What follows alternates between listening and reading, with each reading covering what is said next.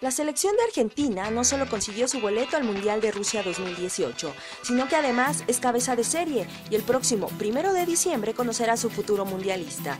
Argentina, por su cuarto puesto en el ranking FIFA, ocupará el copón 1. Sin embargo, nada de ello garantiza que le toque un grupo accesible. Por el contrario, hay un escenario que para Jorge Sampaoli sería por demás complejo.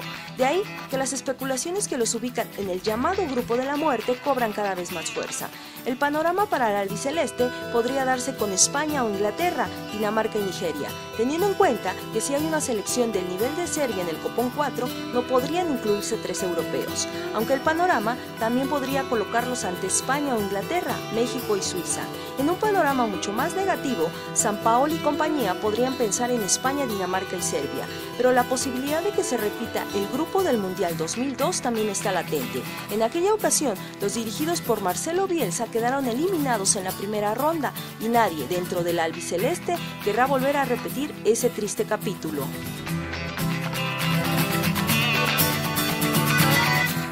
No se puede hacer realidad. Parece que sí, Karim. Parece que el Piojo Herrera ya está en hablas con el América para regresar al nido.